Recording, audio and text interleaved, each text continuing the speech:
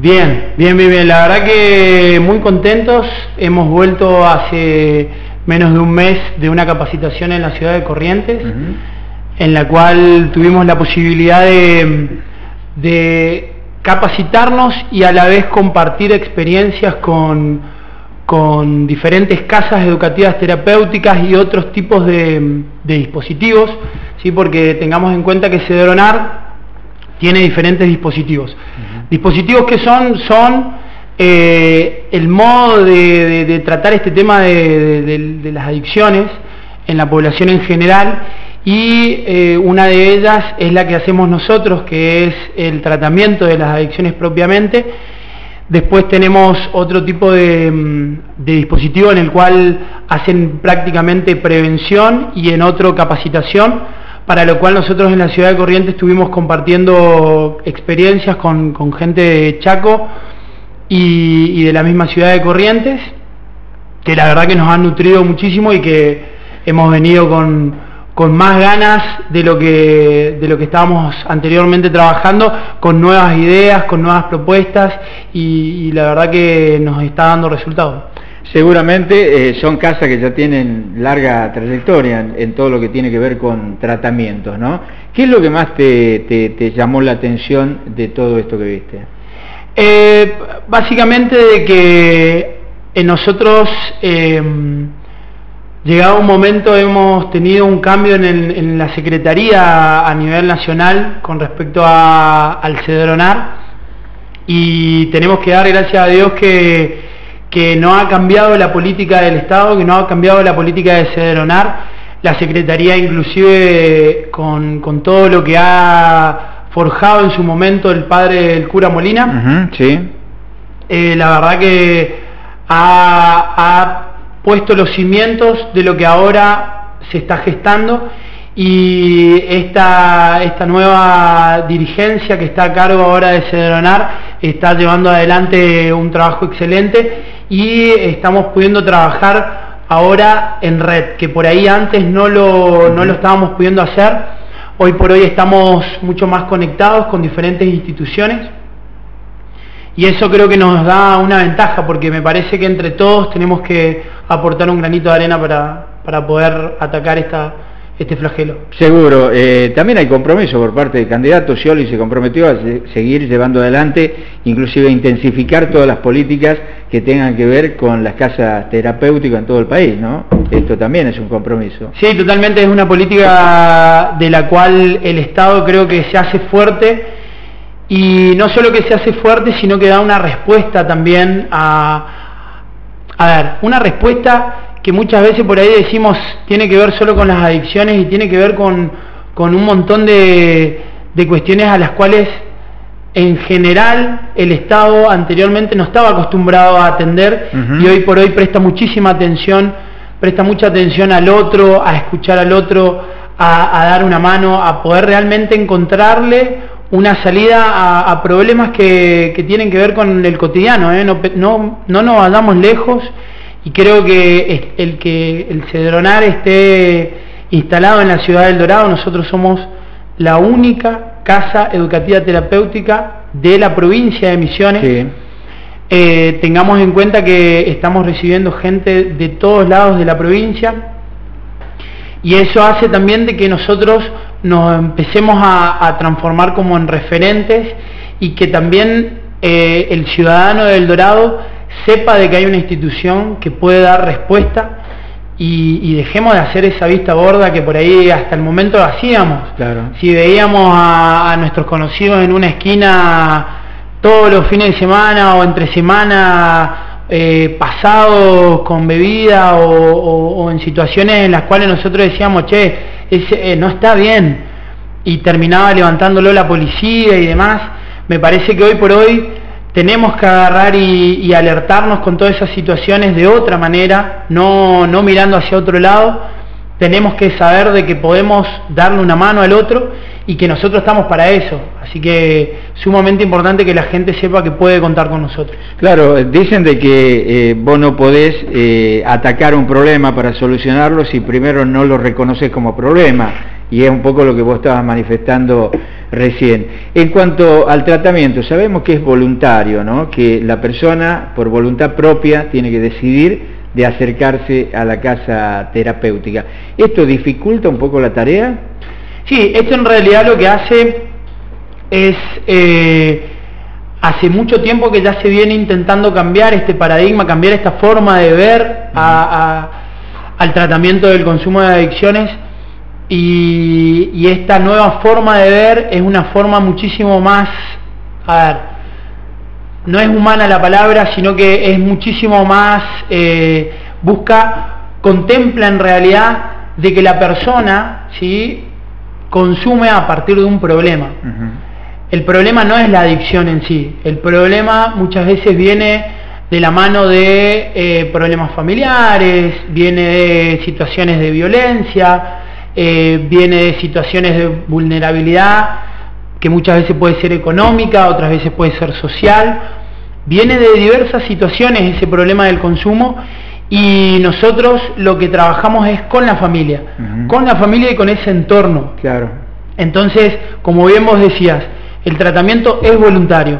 Nosotros necesitamos que esa persona quiera recuperarse y como bien vos decís, que reconozca realmente de que tiene, de que hay una, hay un, hay un problema con, el consumo de alguna sustancia y a partir de ahí nosotros poder generar ese camino hacia, hacia ese proyecto de vida, hacia que esa persona se desarrolle, que vuelva a tener, que vuelva a respirar otro aire, que se vuelva a sentir parte de la sociedad, porque también tenemos que hacer un mea culpa que hoy por hoy las drogas, las adicciones, están sumamente relacionadas todavía, lamentablemente, a, la delincuencia. O sea, el que agarre y dice se está drogando y, o está robando, seguro que está drogado. Esa relación que muchas veces se hace. Sí, entre el delito y el consumo, ¿no? Exactamente. O sea, o está robando para comprar, eh, cosas así. Eh, te digo, eh, es muy una tarea muy muy ardua, ¿no? Y un desafío muy grande eh, hacer que las personas recuperen la autoestima, o sea, porque evidentemente viene con un trastorno no solamente físico, sino psicológico, desemboca en el consumo, como vos decías, a raíz quizás de otro tipo de problema. Ahora, la pregunta que te hago, en los casos que ustedes están tratando en la, en la casa, eh, ¿se trató solamente casos de consumo de sustancia o también hay otro tipo de adicciones que lo están tratando? No, eh, básicamente las principales son, eh, es el consumo de sustancias. Nosotros de todas formas tenemos también la, facultad y la posibilidad de ayudar a gente que tiene problema con el juego, la neuropatía. Exacto.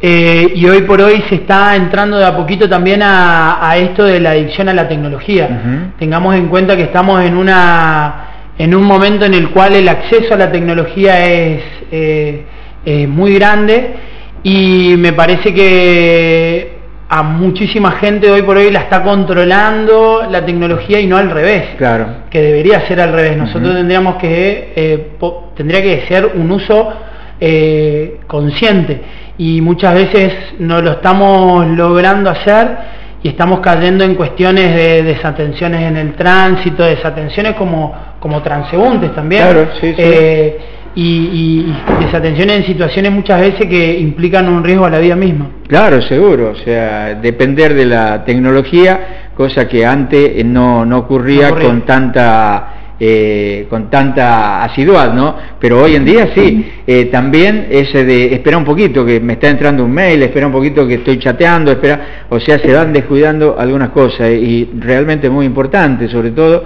en la gente joven que tiene la posibilidad y el acceso mucho más simple, que el Estado inclusive le aporta eh, conectar igualdad a través de una computadora. O sea que eso también son los nuevos síntomas de potenciales digamos, adicciones, ¿no? No necesariamente al consumo de las sustancias.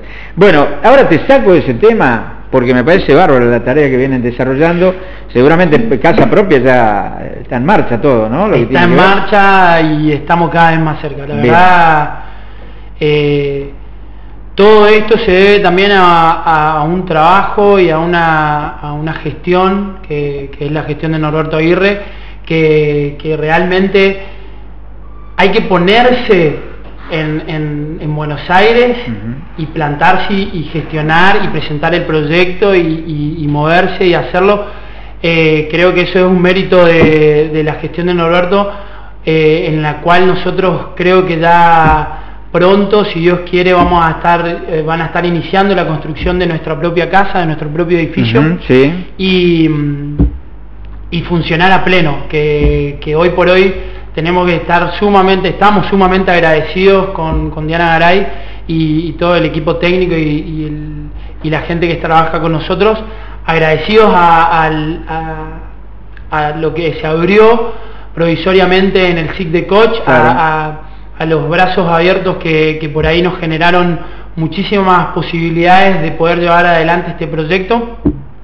Sin la gente del SIC de Coach, nosotros hoy por hoy eh, no tendríamos tampoco la posibilidad de llevar esto adelante y, la verdad que bueno, lo que te digo, ser la única casa educativa terapéutica en la provincia es un mérito y, es una gestión que se vino realizando también adelantándose por ahí a una problemática, porque esto no, es que, no es que se genera ahora y no es que esto viene, ahora todos hablamos de adicciones. Claro. Vos agarrás y te sentás, tomar un mate, che, fulanito pero me parece que se viene trabajando de hace mucho en esto y, hoy de a poquito vamos a ir viendo los resultados. Seguro que sí.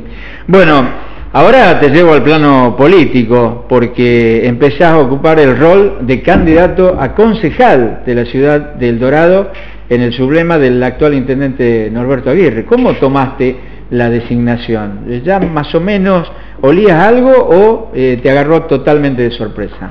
Sí, no, eh, nosotros ya veníamos eh, básicamente trabajando en esta, en esta idea.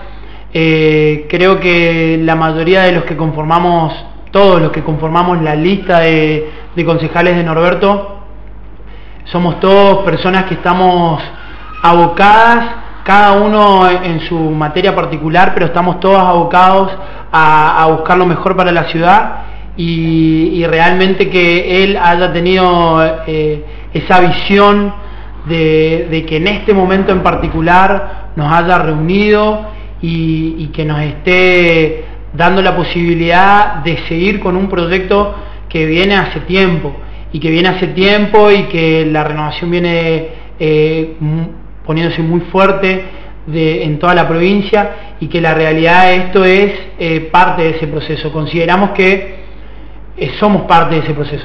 Bien, la participación de los jóvenes ¿no? en, la, en la renovación, ese recambio generacional que no significa tirar a los viejos por la ventana, sino que los jóvenes comiencen a insertarse. ¿Vos te sentís cómodo en este rol nuevo que te otorga Aguirre? Sí, totalmente. Eh, es un desafío. Es un desafío. Me parece que todos lo tomamos así. Eh, la, apuesta fuerte a la juventud que, como te digo, viene de la mano de, la provincia y de, toda la, de todo el partido.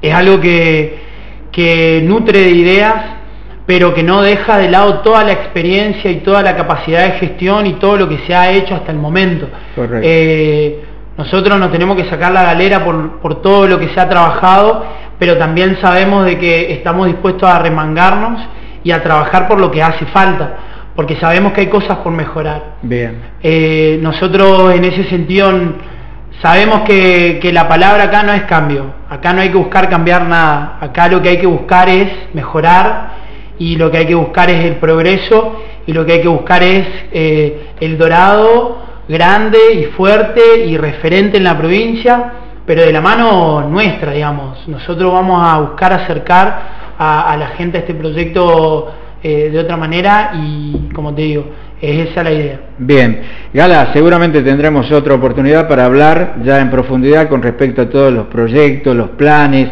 cuál es la visión que tiene el Consejo Deliberante, qué te gustaría, qué no te gustaría hacer en el Consejo, seguramente habrá más de una oportunidad. ¿Tenemos mensajes, Cintia, para compartir? Sí, bueno, por aquí eh, que nos